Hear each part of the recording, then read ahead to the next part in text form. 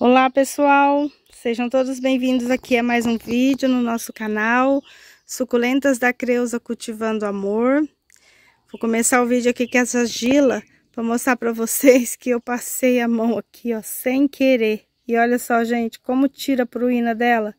Como tira toda a pruína dela, a defesa dela. Então isso aqui ó, para quem não sabe, chama pruína. É uma, tipo uma defesa que ela tem, né? E aí, o que que acontece? Se você passa a mão, acontece isso aqui, ó, não volta. Não volta, vai, vai ficar sempre assim agora. Mas, tá lindona, né, gente? Olha só, tá vindo haste floral, coisa linda. Mas vamos ao conteúdo aí do nosso vídeo hoje, né? Quero mostrar para vocês como que estão aqueles vasinhos. Em março desse ano eu fiz uma otimização de espaço aqui na minha casa aqui no meu viveiro, na minha casa, ó, no meu viveiro, que é na minha casa, né? E transformei, né? Peguei bastante mudinhas que eu tinha, assim, vasos que eu queria cultivar e coloquei em cuinhas e pendurei lá, tipo aquelas lá, ó, tá vendo que estão penduradas por todo o viveiro? Ó, tem ali, tem todo lado, para otimizar o espaço. E hoje quero mostrar para vocês como que elas estão, qual que deu certo, qual que não deu certo.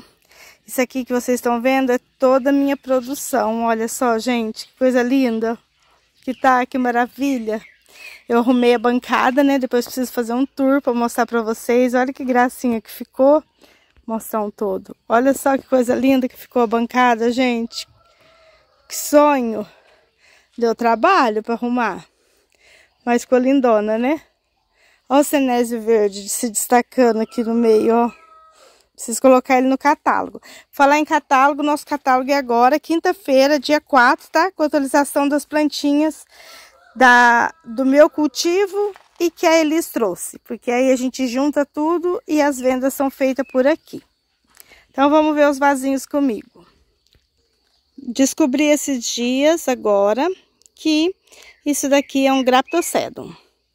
A Lídia que falou, né? A Lídia Costa lá no canal dela. E não é um Sedum mendonzai, é um Graptocedum mendonzai. Então, olha só que lindo que ele está aqui. É uma plantinha de muito fácil cultivo, se propaga muito rápido, brota assim, ó, onde eu fiz o corte, enche de mudinhas. Por folhinhas, por estaquinhas, né? Brota muito. Só que precisa de muitas horas de sol para ficar assim, ó, bem compacto, né? Com as rosetinhas bem formadinhas assim, ó. E a régua pode ser espaçada, mesmo nessa época de, de muito sol, né? Aqui onde eu estou, que é Minas Gerais, sul de Minas, eu só rego ele uma vez por semana. Então, deu muito certo aqui nessa cuinha 13, ó. Encheu a cuia.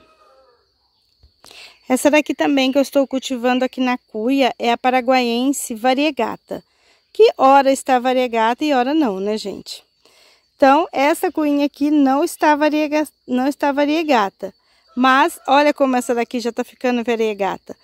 A mesma rosetinha, ora ela está variegata e ora não. Mas é a paraguaiense variegata. E olha como ela deu muito certo aqui na cuinha também.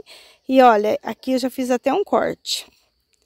Esse vídeo aqui serve para você que tem pouco espaço e quer cultivar suculentas. Então, você pode cultivar elas pendentes assim, ó, em cuinhas, que não precisa ser uma suculenta pendente para você plantar na cuia e pendurar. Eu fiz esse teste aqui, né, e deu super certo aqui comigo. Olha essa daqui, gente, que coisinha mais fofinha.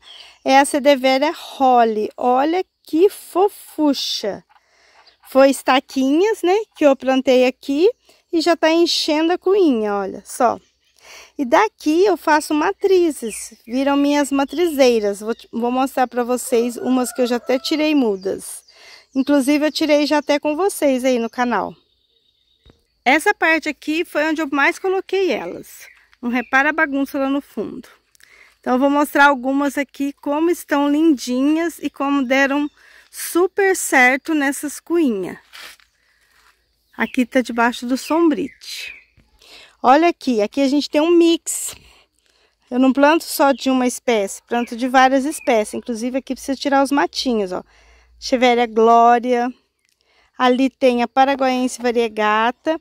Tem a White Gilva, que é lindinha também. Olha lá a Glória brotando, toda ali, ó. E aquela outra ali do lado... Gente, eu esqueci o nome dela, mas eu acho que é Preti alguma coisa, mas a hora que eu lembrar eu falo para vocês. Olha a Glória, que gracinha, brotando tudo aqui nessa cuinha. Essa aqui já tá na hora de eu fazer a poda para fazer mudinhas para vocês. Olha só. Essa daqui é a tramontana. Olha aqui até onde que ela veio. Foi brotando, que gracinha que tá. Já tem até uma aqui no meio, ó. Que é aquele... Acho que esse aqui é o tostão dourado. É que eles mudam muito de cor com, com o tempo. Mas olha que linda a tramontana, gente. Que gracinha. Essa daqui é a Cedeveria Jet Beats. Não tá tão cheinha porque eu já tirei mudinhas aqui, porque é uma plantinha que vende muito por conta da coloração dela e porque ela se propaga muito rápido também, através de folhinhas, de estacas, uma gracinha. Mas logo logo vai estar tá com o vasinho cheio aqui novamente. Aquela lá que eu não sabia o nome é a Pretin Pink. Sabia que era prete alguma coisa. Olha só, eu deixei a... O caule estava bem lenhoso, eu fiz o corte e olha como encheu de mudinhas do lado. E olha que gracinha, gente. Eu não vou ficar repetindo, mas todas essas que eu vou mostrar para vocês estão numa cuinha 13. Então, todas as suculentas que vocês vão ver hoje vai estar plantada numa cuinha 13 e estão sendo cultivada aéreo, né? Pendente. Olha só como ela está bem cor de rosa. É linda essa plantinha também. E, a, e enche de mudinhas do lado. Uma que eu preciso cuidar logo, logo dela é essa daqui, ó. A mandala citrus, né? A momoca. Olha isso, gente. Quanta mudinha saiu aqui nesse caule. Que gracinha. E olha como ela está bem fechadinha, bem compacta. Caiu aqui, ó. Ficou meia pendente aqui, ó preciso cuidar dela, tirar algumas mudas, fazer adubação, né? E aqui nós temos uma paraguaiense mesmo, sem ser a variegata. Como sempre, tem umas plantinhas que eu ainda não sei o nome. E eu agradeço muito quem está me passando os nomes aí, né? Que eu estou nomeando elas. Essa daqui é uma delas. Quem souber pode me falar, porque olha que coisa linda que tá. Preciso fazer mudinhas dela, né? Para colocar no catálogo mas eu não sei o nome. Eu não sei se é um sedum, qual que é. Mas olha que coisa linda, que coloração linda, até combinou com a cuia marrom.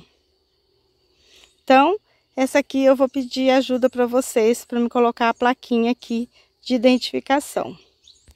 Aqui nesse vasinho eu tenho essa daqui, ó, que eu adquiri ela como a Moema microcalis. Olha que gracinha. Eu acho que é isso mesmo o nome dela, mas se for alguma coisa diferente, me corrija aí. E essa aqui do lado é a Tinkerbell, uma que eu adoro, que eu acho um charme, essa aqui. Esse, esse vasinho aqui eu já fiz uns cuidados nele, né? Já arranquei os matinhos e já fiz adubação agora para primavera. Esse daqui é o Cedum Shangri-La. Olha só, esse é o Variegata. E olha ali o que, que eu fiz. Eu fiz o corte, plantei a cabecinha e plantei as folhinhas em volta. Olha o charme que ficou. Brotaram quase que todas, só tem uma ali que não, ó. E olha só, preciso tirar a florzinha, ele já deu florzinha. Tá variegata só na parte de cima, que é outro também que muda muito a variegação. Vou levar ele para um local que ele toma mais sol, porque aqui, ó, ele tá ficando um pouco estiolado, ó, dá para perceber, se você não sabe o que é estiolado, ó, as folhas estão ficando longe umas da outra. Então, vou colocar ele aqui, ó, nessa parte do viveiro, ó, coloquei ele aqui nessa parte do viveiro, onde ele vai tomar mais sol. Aqui nós temos duas lindinhas, que é a Milky Way, né? Essas rosetinhas bem compactas, que se propaga muito. Você que está iniciando no cultivo, é uma ótima suculenta. Se você quer ter aí vasinhos cheios, fácil cultivo e que dá muita mudinha. E essa outra aqui é a Top Sturve. Olha que linda que tá aqui junto. Fez um contraste bem bonito aqui nesse vasinho. Essa daqui eu fiz o corte com vocês, tirei várias rosetinhas e olha aqui como já tá com o vasinho cheio de novo, gente. Essa daqui é a Nixana. Parece a Glória, mas não é a Glória. Ela tem as folhas bem mais gordinhas do que a Glória, é, dá mais mudinhas do que a Glória, viu? Ela é mais de fácil cultivo do que a Glória. Aqui no meu cultivo, ela dá bastante mudas, cresce, né? Enche o vasinho e eu faço mudinhas por folha e pelo corte da rosetinha, assim, que a gente chama de estaca, né?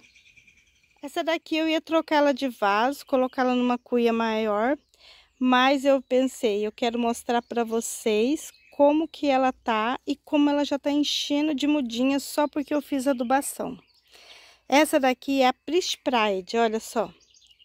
Que coisinha mais linda. E ela fica bem grande, tá? Quando plantada numa cuia maior, ela fica bem grande. Como tá numa cuinha menor, então ela fica menor. Mas olha ali, gente, quanta mudinha tem nesses caules.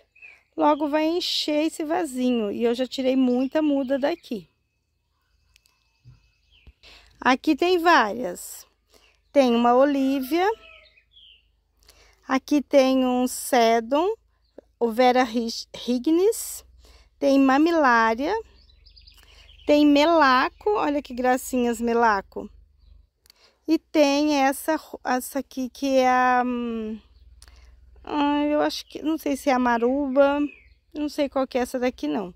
Precisa até fazer o corte nela. Mas olha só como dá para fazer um arranjinho lindo na cuinha.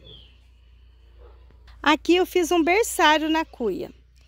São folhinhas da gila. Aquela gila que eu mostrei lá no começo do vídeo. Que ela deu haste floral, né? Eu tirei as folhinhas e plantei aqui. Já tirei algumas mudinhas daqui para ir desafogando. Mas olha só que berçário lindo que ficou na cuinha. Aqui estou fazendo uma cuinha só de variegata. Olha que gracinha. Aquela ali é uma Letícia variegata. Essa aqui é Alice Evans variegata. Essa aqui é a... Qual que era o nome dela mesmo? É aquela lá... Dream End Fantasma lá. Essa daqui é uma que dá verrugas, é uma pequenininha. Essa não é variegata não, ganhei da Lê. E essa aqui é a maruba. Olha o tamanhozinho da maruba, gente. Tem que tirar aquele aquela bolinha de basacote ali de cima dela. Então, vai ficar uma cuinha das variegatas. Essas daqui, essa daqui é uma raortia, né? Dá para cultivar também, é de meia sombra. Olha como encheu a cuinha, gente. Que graça que ficou. E olha como elas estão gordinhas e durinhas. Olha como elas gostou dessa cuinha. Faz muito tempo que tá aqui, para tá desse tanto aqui, ó. Faz tempo que eu estou cultivando ela aqui. Aqui nós temos de tudo, ó, já dá para tirar as mudas. Cubic Frost, tem o Sedum Treliaci, tem a Supreme, tem a, a Gavoide Rubra, a Gavoide não, a Cheveria Rubra, e tem até uma prolífica aqui do lado, ó. Então, olha só, a cuia, a cuia está transbordando suculentas. Eu fiz uma experiência de colocar as gibifloras, que ficam maiores, né? E olha só como deu certo. Olha como elas estão crescendo. Ali tem uma Glig 22. Ali tem mudinha de Godzilla, que é uma híbrida. Essas aqui acho que é Mauna. Isso, Mauna australiana. Tem até um sedum ali no meio, ó. Mas olha só, eu vou mostrar para vocês como que eu estou fazendo com as mudinhas pequenas, plantando nas cuinhas, para economizar o espaço nas bancadas. Antes eu quero mostrar esse colar de melancia aqui, ó. Olha que gracinha, gente. Capinei ele, porque estava muito sujo de mato. E já fiz adubação agora para primavera. Agora à tarde eu vou regar eles todos aqui. Eu ligo o aspersor, aqui é regado pelo aspersor. Aí ele molha bem. Fizemos o corte aí junto das subcecilis. Não sei se vou, quem não lembra, eu vou deixar o vídeo aí no final do vídeo para vocês verem. Olha só que interessante, gente. Eu fiz adubação, fiz o corte e fiz adubação. Olha quantos brotinhos tem. Ali tem a data, ó, foi no dia 21 de agosto. Nós estamos no final de setembro, faz 40 dias. Olha só, que gracinha. Olha os brotinhos na subcecília. E, e ficou só o toquinho. Não ficou folhinha, não. E brotou tudo. Com adubação e a rega, gente, sempre brota. Esse aqui também é outra vasinho de raórtia, mas nasceu umas mini aqui do lado. E olha isso. Elas estão lutando para sobreviver aqui. Inclusive ali tem cochonilha. Já vou até tirar aquela floração ali. Vou levar ela lá para a bancada. E vou, já vou aplicar um diazetope aqui. E olha só. Quantas raórtia tem aqui. E uma mini belle que deve ter nascido aqui de folhinha e foi crescendo, crescendo. Eu vou tirar essas... Olha ali como dá a cochonilha na, na floração. Vou tirar, vou jogar fora e vou aplicar o diazetop. Aqui, ó, eu tenho várias que eu já plantei e estou esperando crescer, né? Olha só. Esse aqui é o cedum crepúsculo, ó. Eu plantei alguns toquinhos aqui, ó, pra formar uma matriz de cedron crepúsculo. Essa aqui vai ser outra matrizeira de Pride, ó. Eram todas minúsculas, pequenininhas. E olha só, que gracinha Aqui eu tenho Black Prince, tem a Nana Rukmini, ó. É, são tudo rosetinhas bem pequenininhas que eu planto, porque às vezes tá bem pequenininha, não dá nem para colocar num potinho. Para não colocar em potinho 6, para não ficar ocupando muito espaço, eu coloco assim junto e faço um mix. Essa aqui é a Leopoldina, essa aqui despetalou, ó, já deixei as folhinhas aqui para brotar aqui junto. E logo essa cuinha tá cheia, ó. Aí eu posso tirar as mudinhas e transportar pro potinho 9, né? Ou eu faço o corte e aproveito para ser uma matriz. Aqui eu tenho a mini suyo, olha só que fofurinha, uma Deb e essa daqui acho que é suyon também, todas essas aqui são suyon, que umas já cresceram mais. A única diferença é a Deb. Olha só que gracinha que é a mini suyon. Tem aquela suyon que é a gibiflora, né? E tem essa que é uma echeveria menor. Aqui eu tenho a Supreme Variegata, que também tá numa cuinha. Da outra vez já mostrei elas, elas para vocês. Eu tirei bastante rosetas daqui para fazer mudas e fiz adubação. E ela está brotando, ó. Fez uma arvorezinha ali, olha que gracinha. Tá linda também aqui, ó. Essa é a Supreme Variegata. Ela fica assim, até meia cor de rosa. Olha isso daqui. Aqui nós temos de tudo também. Melon Elon.